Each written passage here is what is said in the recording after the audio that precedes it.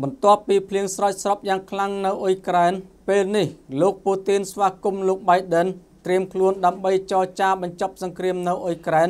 នេះបើយោងតាមអង្គភាពកម្ពុជាសន្តិភាពចុះផ្សាយ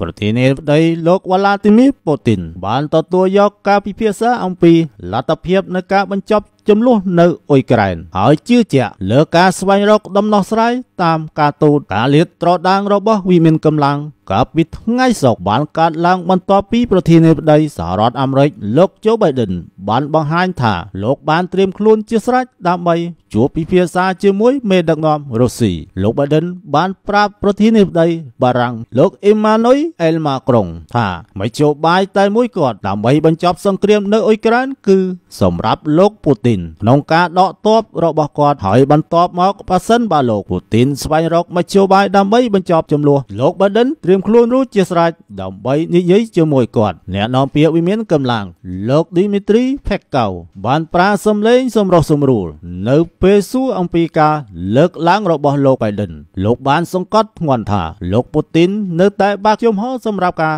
ចរចាប៉ុន្តែ បានទទូចថារុស្ស៊ីនឹងបណ្ដកទ័ពចេញពីអ៊ុយក្រែនទេប្រធានសហព័ន្ធរុស្ស៊ីតែងតែបើកជំហរនិងបើកជំហរចំពោះការចរចាដើម្បីធានាផលប្រយោជន៍របស់យើងលោកផេកកៅបានប្រាប់អ្នកសារព័ត៌មានលោកពូទីនបាននិយាយថា លោកមិនមានការសោកស្ដាយចំពោះការបើកនៅអ្វីដែលលោកហៅថា ជាការបើកជំហរបដិបត្តិការយោធាពិសេសប្រឆាំងនឹងអ៊ុយក្រែនដោយនិយាយថា វាជាចំណុចរបត់មួយ នៅទីបញ្ចប់ប្រទេសរុស្ស៊ី បានក្រោកឡើងប្រឆាំងនឹងភាពរឹងមាំនៃអនុត្តរភាពនៅលោកខាងលិចបន្ទាប់ពីរងការអាម៉ាស់អស់ជាច្រើនទសវត្សរ៍ចាប់តាំងពីការដួលរលំនៃសហភាពសូវៀតក្នុងឆ្នាំ1991អ៊ុយក្រែននិងលោកខាងលិចបានឆ្លើយតបនោះគ្មានការអះអាងថាលោកពូទីនទេ អាចត្រូវបានប្រើដើម្បីបង្ហាញអំពីភាពត្រឹមត្រូវនៅសង្គ្រាមឈ្លានពាននៅក្នុងទម្រង់អធិរាជរបស់គាត់ហើយក្រុងគៀវបានបដិញ្ញាថាពួកគេ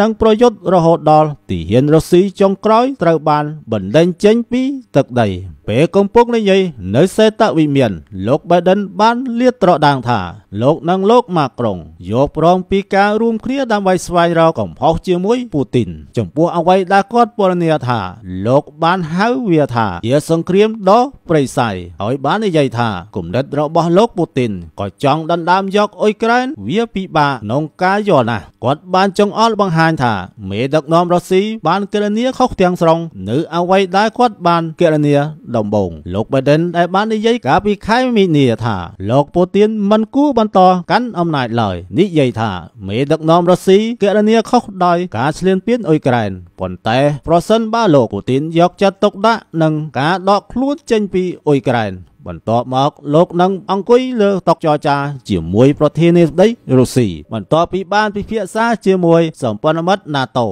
រុស្ស៊ីអះអាងថានឹងបញ្ចូលទឹកដី1ភាគ5 របស់អ៊ុយក្រែនជាឧបសម្ព័ន្ធរបស់លោកខាងលិចចំណែកអ៊ុយក្រែននឹងប្រកាសថានឹងមិនមានថ្ងៃទទួលយកទេលោកផេកៅបាននិយាយថាការបដិសេធរបស់អាមេរិកនៅក្នុងការទទួលស្គាល់ទឹកដីថ្មីរបស់រុស្ស៊ីអាចជាឧបសគ្គដល់ការប៉ុនប៉ងណាមួយដើម្បីស្វែងរកនៃការសម្រុះសម្រួល នៅពេលសួរអំពីទស្សនៈរបស់រុស្ស៊ី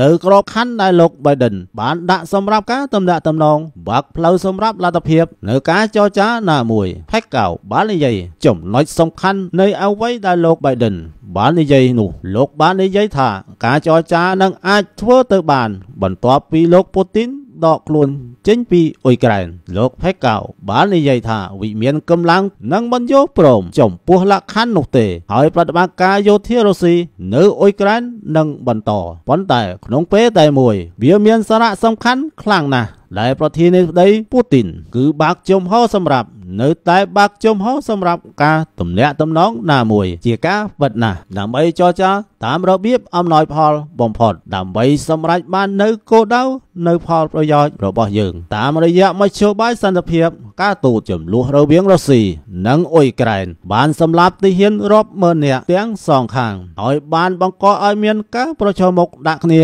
ដ៏ធ្ងន់បំផុតរវាងទីក្រុងម៉ូស្កូនិងលោកខាងលិចចាប់តាំងពីវិបត្តិមីស៊ីលគុយបាឆ្នាំ1962ប្រភពពី Reuters ខ្ញុំបាទចានសឿនកម្ពុជាសន្តិភាពនាំមកជូនលោកអ្នកដោយ Naga អ្នកឯកទេសលេខ1ជាប្រភេទថ្នាំទឹកមកពីប្រទេសថៃបងប្អូនដែលមានបញ្ហាសន្លាក់ឆ្អឹងឈឺចង្កេះឆ្អឹងត្រគាកឈឺក្រពះពោះវៀនរ៉ាំរ៉ៃនិងក្រហាយបាតដៃបាតជើងខលមកឥឡូវនេះ promotion ពិសេសបញ្ចុះតម្លៃរហូតដល់40%សូមទំនាក់ទំនង096និង097 96 96 667